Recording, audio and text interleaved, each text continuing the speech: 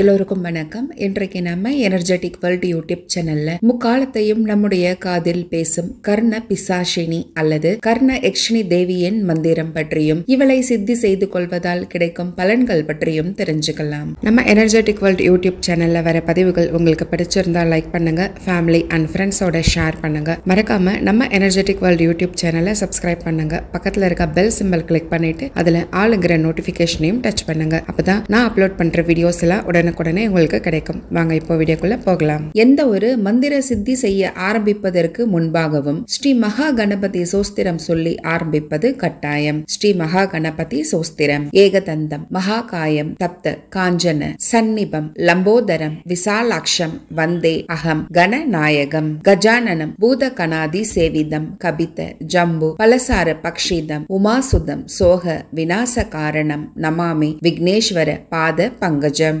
அடுத்தது ஸ்ரீ குரு சோஸ்திரம் சொல்லணும். ஓம் குரு பிரம்மா குரு விஷ்ணு குரு தேவோ மகேஸ்வரா குரு சாஷாத் பரபிரம்மம் தஸ்மை ஸ்ரீ குருவே நமக. கர்ண பிசாஷினி என்னும் தேவதை யக்ஷினி வகையை சேர்ந்தவள் தான். கர்ண யக்ஷினி என்றும் ஒரு தேவதை உண்டு. அந்த தேவதையும் மூன்று காலத்தையும் நம்முடைய காதில் வந்து பேசிக்கொண்டுதான் இருக்கும். நாம் நினைக்கும் கேள்விகளுக்கான பதிலை குறியாக சொல்லும். இந்த சப்தமே ஒரு வகையான கீச்சு குரலில் தான் அமைஞ்சிருக்கும். அந்த தேவதையை போலவே இந்த கர்ண பிசாஷினி தேவதையும் குறி சொல்ல கூடியவள் தான் மற்ற குறி சொல்லும் தேவதைகளுக்கும் இந்த தேவதைகளுக்கும் என்ன வித்தியாசம்னா மற்ற தேவதைகளை வைத்து குறி சொன்னா உணர்ந்துதான் சொல்லணும். இந்த தேவதைகள் அப்படி கிடையாது. இந்த தேவதைகளானவங்க காதில் வந்து பேசுவாங்க. முதல்ல சித்தி செய்யும் பொழுது காதில் ஒரு வகையான இரைச்சல் சத்தம் தான் கேட்கும். அதற்கு பிறகு ஒரு காது சுத்தமாவே கேட்காது. மெல்ல மெல்ல அந்த தேவதை பேசும் சத்தம் நம்முடைய காதுகளுக்கு நிச்சயமாக கேட்கும். இந்த மந்திரத்தை அகோரிகள் தான் அதிகமாக பயன்படுத்துவாங்க.